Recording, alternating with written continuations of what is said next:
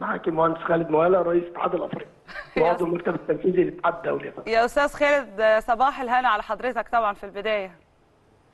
بسم الله الرحمن الرحيم. صباح النور وتحية ليك وتحية لكل السادة المستمعين. الأفاضل كل أبناء وأحبائي في مصر العظيمة مصر الحبيبة الغالية. منورنا يا أستاذ خالد ودي طبعا بلدك أكيد إحنا ما فيش كلام يعني. وسعيدة وكلنا سعداء إن حضرتك يعني قلت إنك بتعشق مصر وإحنا بنعشق كل الدول العربية وكلهم أشقائنا.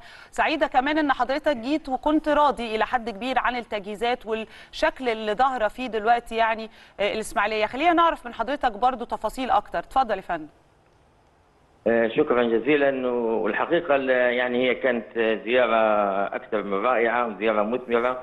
آه، زي ما تفضل آه، الأستاذ محمد عبد المقصود نحن زرنا طبعا آه، صرح كبير. يعني الحقيقة أنا فوجئت بمستوى التجهيزات اللي موجودة في في ال- الإسماعيلية وفي الاستاد. يعني على يعني على أعلى مستوى يعني ومنسوش حتى التفاصيل الدقيقة.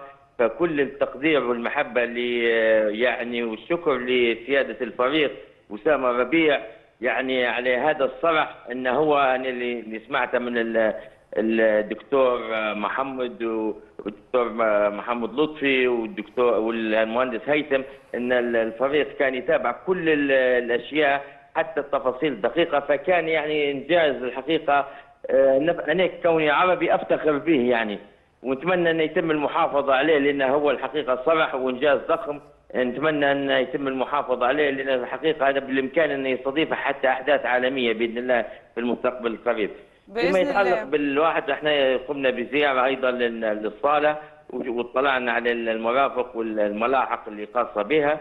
آه، طبعا كانت هناك بعض الملاحظات يعني فيما يتعلق بالتجهيزات يعني فكل شيء إن شاء الله هيكون على احسن ما يرام.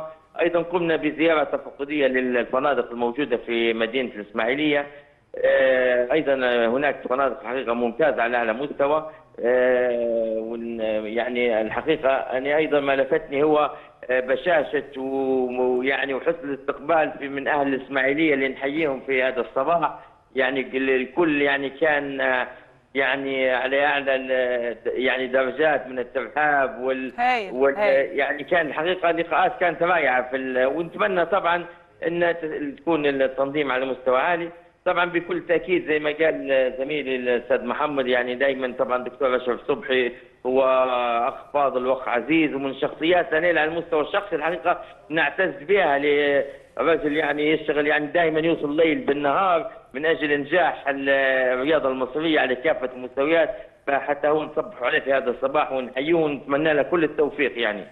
وإحنا بدورنا يعني بنعتز برضو بوجود حضرتك معانا منور مصر وإن شاء الله يعني حضرتك آه، تشهد تجربة جميلة من خلال تنظيم مصر لفعاليات هذه البطولة. أهلا بيك في مصر وشكرا جزيلا لمشاركة حضرتك معانا. شكرا جزيلا. شكرا ليك أستاذ خالد مداخلة جميلة والواحد سعيد إن هو يسمع طبعاً، طبعا, طبعاً. يعني حاجة زي كده. شكرا.